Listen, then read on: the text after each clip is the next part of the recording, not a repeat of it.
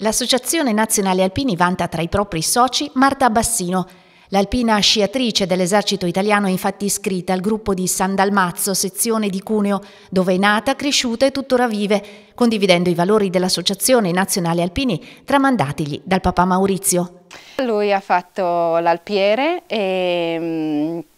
e niente, quindi ogni tanto ci racconta quegli anni lì di, delle esperienze vissute eh,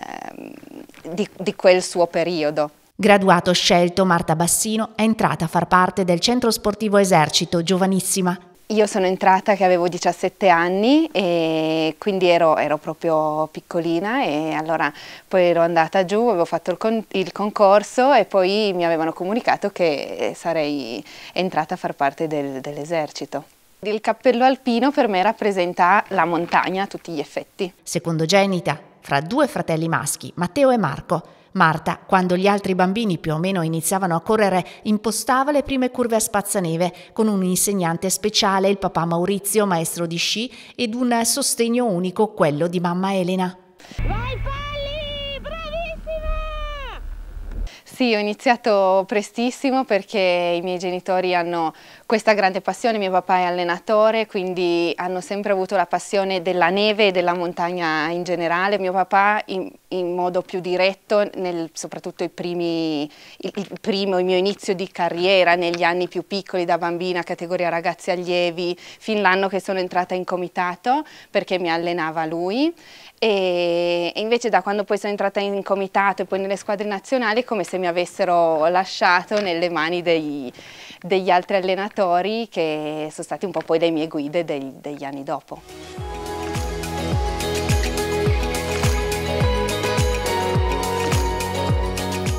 Ma nella vita di Marta non vi è stato solo ed esclusivamente lo sci. L'atletica leggera, il nuoto, i tuffi, la ginnastica artistica hanno riempito i suoi pomeriggi da bambina. Sì, ho fatto ginnastica artistica fin da piccola, fino al periodo delle medie, poi tra la ginnastica, la scuola e lo sci non riuscivo più a conciliare e fare bene tutte e tre le cose, quindi avevo lasciato la ginnastica per dedicarmi alla scuola e, e allo sci. E io sono stata contentissima di aver fatto quegli anni lì, mi piaceva un sacco e penso mi abbiano aiutato anche ehm, proprio nel mio percorso, proprio a conoscere il corpo, i movimenti nello spazio e tutto proprio una base a livello fisico. Solo più tardi Marta capisce che lo sport che la fa divertire e allo stesso tempo ottenere ottimi risultati è lo sci. Una crescita graduale dalle prime gare con lo sci club a far parte della squadra del Comitato Fisi Alpi Occidentali, dal passaggio alla nazionale B a quella per i mondiali New Jores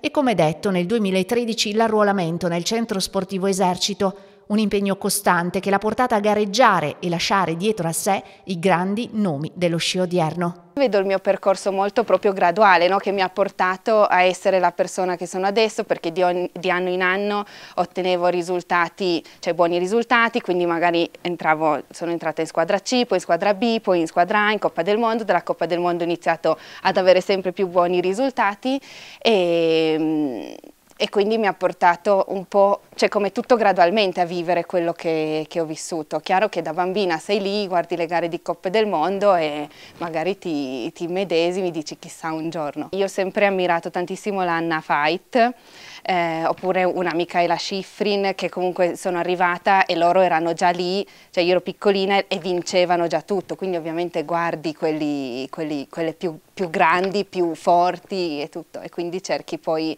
man mano di di rubare qualcosina da uno e dall'altra per cercare di metterlo nella tua sciata e arrivare sempre più su.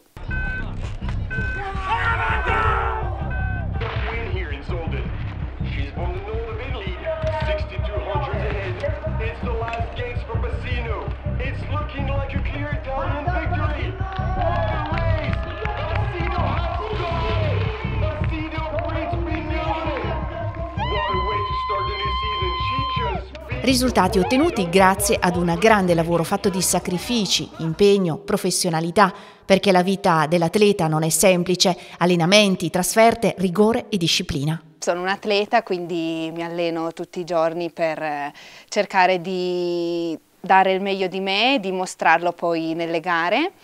L'estate cioè, con la preparazione atletica, quindi una preparazione a secco per preparare tutto quello che sarà poi l'allenamento e le gare e la stagione invernale. Porsi obiettivi e organizzare la propria vita per raggiungerli. Ecco cosa ha insegnato lo sport a Marta Bassino fin da bambina. Coniugare gli allenamenti e le gare quando ancora sedeva tra i banchi di scuola non è stato semplice, ma lei ci è riuscita, adottando quelle regole che ancora oggi applica alla vita di tutti i giorni. Io penso che comunque una vita sportiva, una vita di gare o cosa, eh, ci aiuti a organizzarci, a svegliarci, a imparare proprio a, a cavarsela in tutti, in tutti, i casi e di conseguenza quindi anche quando sei a scuola è come se fossi molto più veloce, cioè ti organizzi il tempo, sai che, sai che hai un po' di tempo per studiare, un po' di tempo per allenarti e quindi cioè, impari proprio a organizzarti la vita. E poi c'è la testa, l'allenamento che non si vede ma che è fondamentale quando si raggiungono certi livelli. La testa fa tanto, specialmente poi nel momento in cui arriviamo e mettiamo fuori i bastoni dal cancelletto, che è il momento proprio eh, della gara, noi abbiamo questi praticamente pochi minuti per dimostrare tutto il lavoro che abbiamo fatto prima e quindi metterci alla prova. E mh, mm, io ho notato proprio negli anni che alla fine mh, mm, bisogna essere, cioè nel, nel, mio caso, nel mio sport, eh, preparati fisicamente, preparati tecnicamente, quindi saper sciare e la testa poi deve funzionare bene perché comanda il tutto. Ecco perché quando può, Marta stacca la spina, se ne va in montagna, a camminare, a vivere quei luoghi che le ricordano le giornate trascorse con la famiglia, dove riesce a ricaricarsi, a ritrovare se stessa, a riossigenare mente e corpo per tornare più in forma che mai al cancelletto di partenza una vita fatta di sci e di montagna con tanti obiettivi ancora da raggiungere e un futuro in cui non possono mancare i valori veri, profondi, che solo una ragazza dei sani principi, quale è lei, non può non vedere nel proprio futuro. Tra 30 anni io mm, sinceramente spero di vedermi con una famiglia e dei bambini prima di tutto e poi penso che comunque il mondo della neve è, è è parte della mia vita e quindi sicuramente sarà qualcosa legato a quello, e, però vabbè adesso intanto ho questi anni qui ancora mh, di carriera per fare le gare e poi in un domani ci penserò.